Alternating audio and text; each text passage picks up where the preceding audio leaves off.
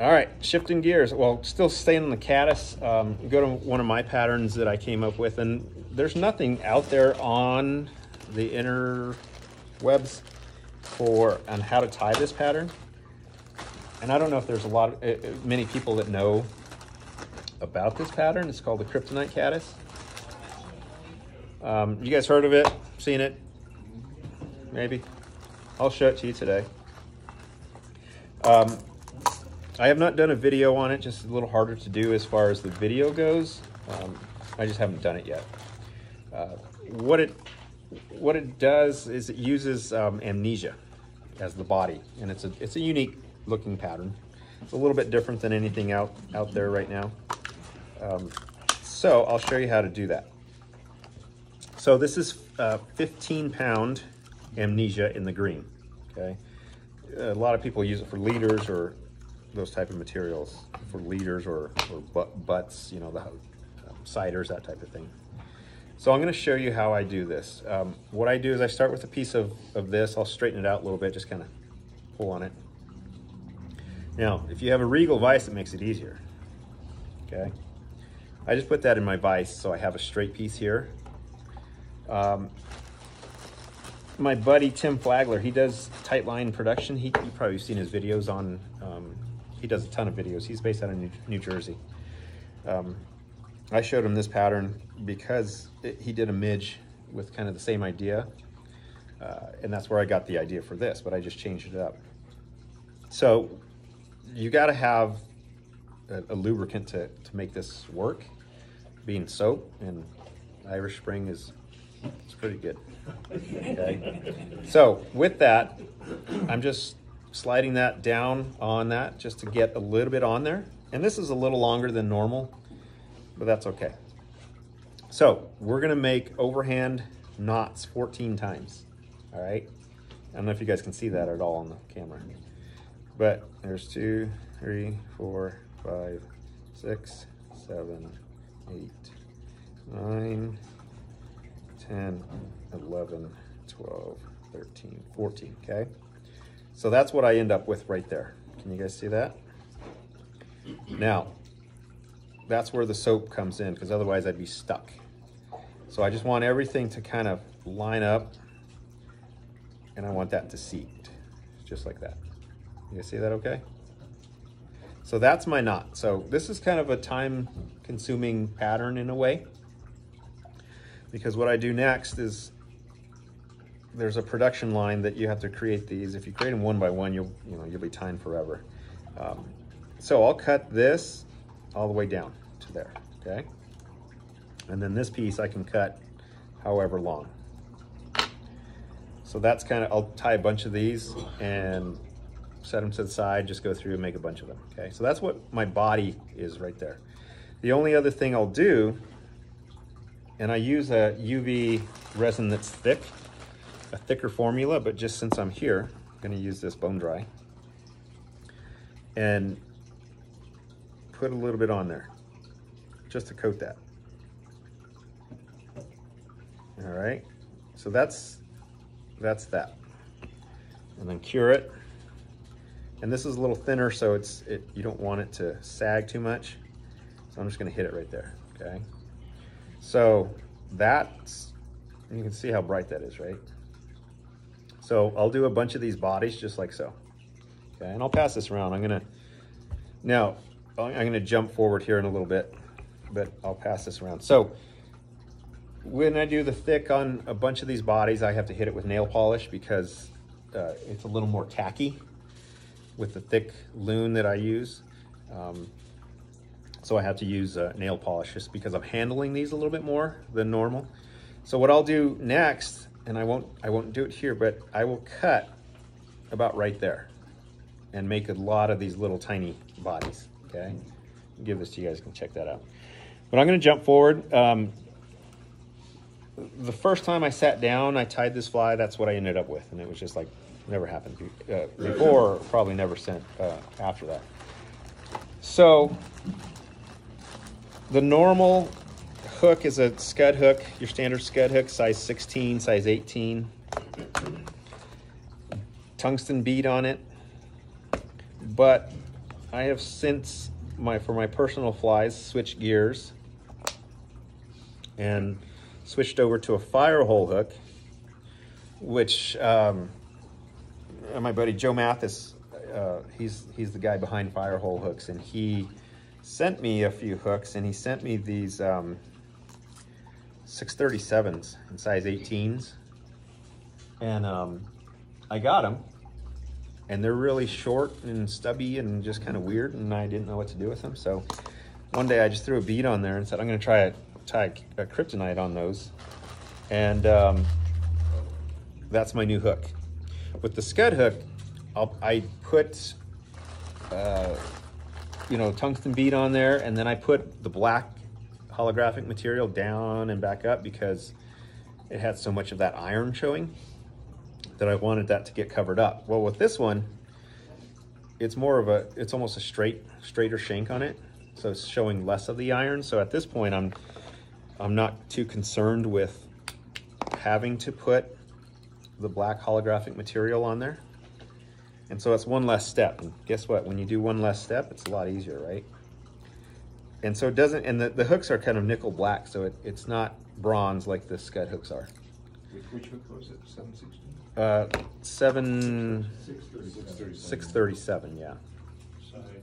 18, yeah. And there's some smaller hooks now, I think, in that series. I haven't tried them yet, I don't believe. And I tied these for Royal Gorge anglers and could not keep up. A couple things I've learned is um, if you use black A-dot thread, I was splitting my thread. I'll show you here in a little bit how I do that. But I was splitting it, inserting CDC in it. Then I realized that I could use the Veevus 16-aught, which is corded, double corded kind of. And I'll show you here in a little bit what I mean by that. So when I cut those stems down, let's, I tuck those, you know, I'll put some thread on there. I'll tuck those into the bead. I'll actually hit them with super glue before I do that. And then tuck them under and into the bead somewhat and then wrap over with thread. That way it locks it in there a little bit better. And it's fairly stiff. See that? Now, once I come in here, I gotta remember how to tie this fly because I haven't tied it for a while. Um, it's fairly simple at this point. You gotta have the right materials though. Like in this case, I'm gonna do the standard, which is, is CDC wing and uh, ear collar. And what you gotta do is you gotta find the right CDC. And I, you know, this stuff, this is the Trout Hunter Premium CDC, the full, the natural done. It's good stuff, really good stuff. And what I do is I go through and I'll find the, the longer individual uh, CDC feathers that have full plumes on them, okay? So once I find that, I got, you know, I have this, which is a full CDC. I only need half of it. And Marc Petitjean, he had this uh, really cool tool, little chip clip type thing. Uh, they're hard to find now. So um, there's a new one that uh, just came out. It's, uh, I can't remember who makes it. Stefano. There's that one, and there's another one that just um, just recently got released. But anyways, you might have to look for that. They're they're hard to get now, but they're just they're pretty. They're hard to get because people are buying them. Fly Fish Food, um, Cheech and those guys, they they just released a video recently on. It's a metal clip, but it's the same kind of idea. So what I want to do, grab that right here, and then you could probably tie it in and wrap it, but that's a little stiffer. So I'm gonna put those fibers in there and then cut this out. So I got this in my chip clip, right? Okay, set it down, it's, no, it's. Oh, gotcha. There go. So it's just in that chip clip there. All right. All right. While I'm doing this, my thread is, again, it's it's corded up. It's the 16 aught Veevus. And again, I'd have to split my thread, stick it in there. But I found with this thread, with it being two strands, see how that, when I untwist it, see how that opens up for me? So it's a lot easier splitting that because it's two strands already. Now, all I do is insert this clip in there. I don't know if you can see that or not. And lay that right there, open, and then I want this to twist up again. So that makes it a little bit easier for me to, a little quicker, okay? So again, just stroke those fibers back.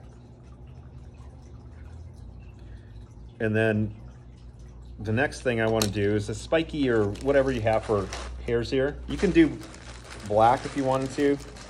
I'll do the light, and this one has a little, this is the crystal dub, which has a little bit of the um, flash in it. So it's gonna be a little more spiky. If you wanted to, you could insert that the same way I did that uh, CDC. Split your thread and uh, place it in between and then brush it, you know, wrap it, brush it out. But you can also dub it just, just like this. Now with the 16 knot thread, you gotta be a little more gentle. Can't crank on it as hard, but I just wanna get it behind that bead. And then place that couple whip finishes in there underneath that bead. Okay, now the only other thing I do is I come in and I, I comb them out just a little, just to make it a little more buggy just like this, okay? So again, those double whip finishes, if you pull one out right now, at least you still have one more, okay? So this thing, once you're here, you're done. Now, you can decide whether or not you wanna clip these shorter, and I'll usually do that. But there's your kryptonite right there, okay? Now, the cool thing about this is that um, once you're here, it looks pretty cool, right? But once you get it wet, make sure nobody eats that.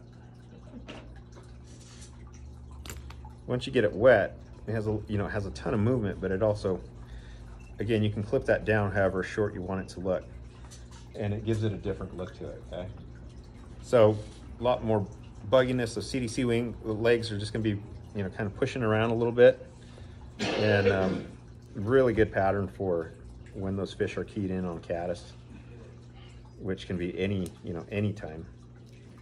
But on the Arkansas, you know, that April time frame, that was, that was um, a killer, killer pattern. Okay? What size was that?